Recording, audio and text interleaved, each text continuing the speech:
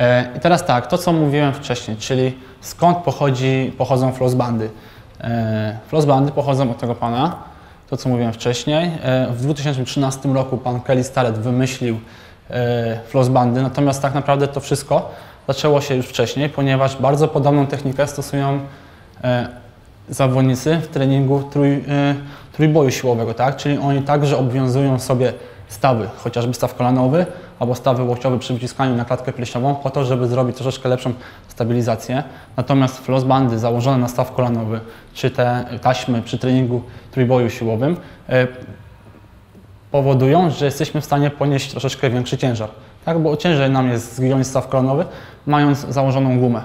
E, takie techniki też są wykorzystywane za pomocą flossband, natomiast tego nie polecam. Lepiej używać tego do jakiejś rehabilitacji lub do przygotowania organizmu do treningu siłowego niż do e, podnoszenia większych ciężarów za pomocą zakładania tych flossband na staw kolonowy, chociażby. Ok, teraz e, jakie są efekty flossbandy? Czyli jest rozluźnienie układu mięśniowo-powięziowego, to co mówiłem wcześniej, natomiast jest także zwiększenie ruchomości w układzie stawowym, tak? czyli te flossbandy, jak mówiłem, to jest jedyna opcja, która jest używana w, w mobility na stawy i na układ mięśniowo-powięziowy, ponieważ piłeczką, wałkiem nie jesteśmy w stanie wpłynąć na staw. Natomiast za pomocą flossbandu oczywiście jak najbardziej zakładana jest ta flossbanda na stawy. E, poprawienie ślizgania się właśnie powięzi pomięśnia szkieletowych, czyli ta powięź jest odklejona. E, jedyną opcją, jaką możemy robić dodatkowo, czyli założyć chociażby flossbandę na mięsień czworogłowy uda i dodatkowo zrobić rolowanie tego mięśnia. To jeszcze lepiej wpływa na nasz układ ruchu, czyli jeszcze lepiej ten mięsień będzie przygotowany do treningu. E, stymulacja oczywiście receptorów, receptorów skórnych oraz redukcja obrzęków po urazach sportowych. To co mówiłem, e, kompresja, która jest wytwarzana za pomocą frostbandy powoduje to, że lepiej dany uraz jest zgojony, tak? czyli ta kompresja po ściągnięciu frostbandy powoduje to, że do tego danego miejsca kontuzji bólowego wpływa jeszcze więcej wartości odżywczych z naszego, organizmu, tak? czyli taką frostbandę zakładamy przy urazach chociażby skręcenia stawu skokowego, żeby to troszeczkę szybciej e, leczyć.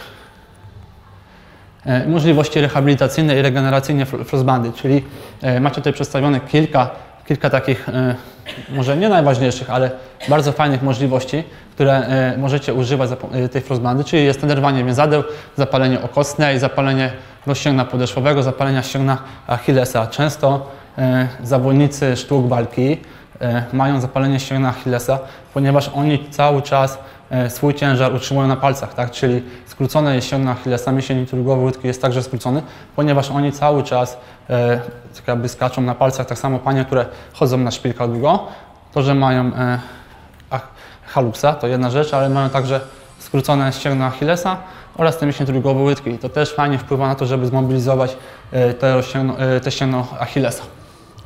Ok, to także powoduje zwiększenie napięcia mięśniowego. E, co to znaczy?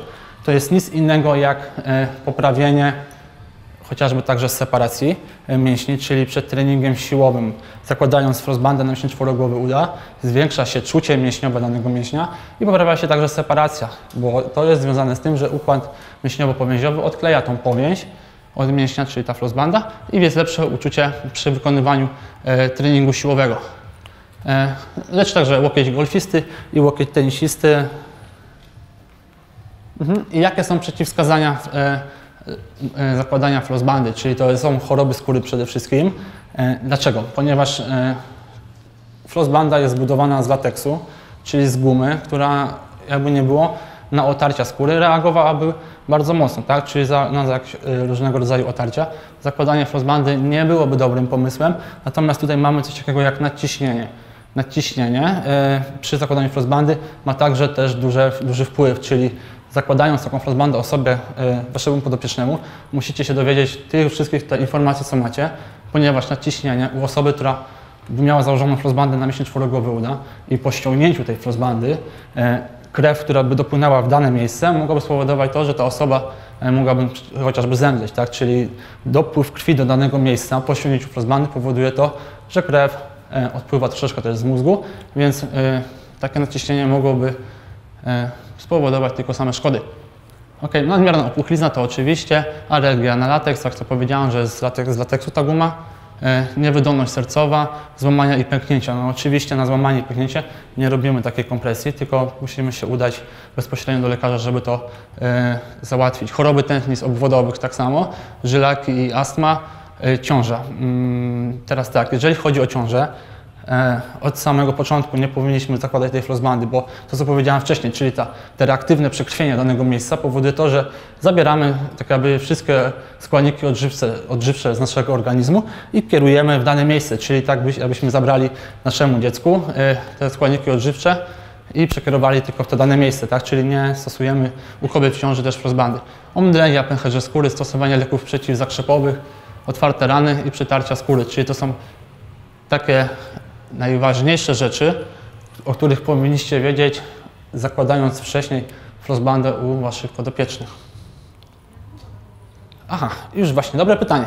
Słuchajcie, jeżeli chodzi o e, zakładanie frostbandy, czyli tak naprawdę fajnie by było, żeby dało się wytrzymać z 5 minut maksymalnie z tą gumą. E, rzadko kiedy się da to wytrzymać, ponieważ ta kompresja po pierwsze powoduje taki dyskomfort, Człowiek czuje się niepewnie, ponieważ noga zaczyna mu drętwieć, zaczyna go boleć i tak dalej. Oczywiście przez 5 minut nikomu nie jest w stanie odpaść noga, prawda?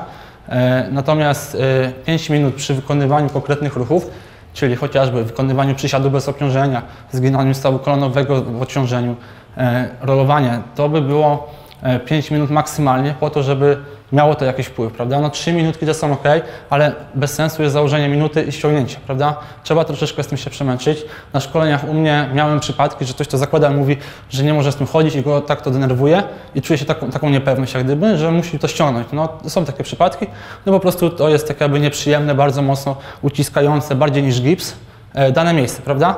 E, więc 5 minut e, utrzymania frostbandy na danym miejscu oczywiście byłoby bardzo fajne, tak? Jeszcze nie miałem takiego, takiej sytuacji, żeby ktoś wytrzymał 5 minut, ale 5 minut to by było super, prawda?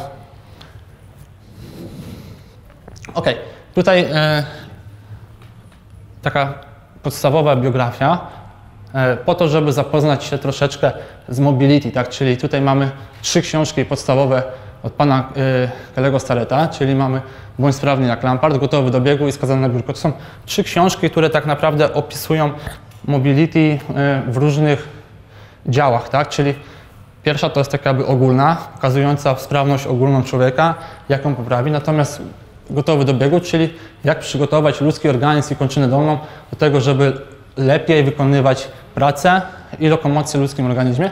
Natomiast skazany na biurko to właśnie pokazuje, jakie dysfunkcje ruchu e, człowiek nabywa siedząc na przykład 8 godzin dziennie, tak? I jak poprawiać e, chociażby ułożenie miednicy wtedy, e, takie różne elementy. Dwie pozostałe książki są bardzo fajne, jeżeli chodzi o punkty spustowe, czyli punkty spustowe i łańcuchy mięśniowo-powięziowe i osteopatii i terapii manualnej, czyli to jest książka tak naprawdę pani z Niemiec, która napisała ją bardzo fajnie, pokazując e, wszystkie punkty spustowe, jak je leczyć za pomocą chociażby terapii manualnej. Tam też są pokazane elementy za pomocą ugniatania, tak jakby piłeczką, też co dzisiaj Wam mówiłem, oraz mamy mięśniowo-powięziowe punkty spustowe, czyli e, też książeczka o, o punktach spustowych. Dziękuję bardzo.